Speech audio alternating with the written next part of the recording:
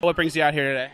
Well, I'm coming here to say no to racism, no to bigotry, and um, yes to freedom of speech, but no to hate speech. Cool. So, do you think Ben Shapiro should be able to speak tonight or no?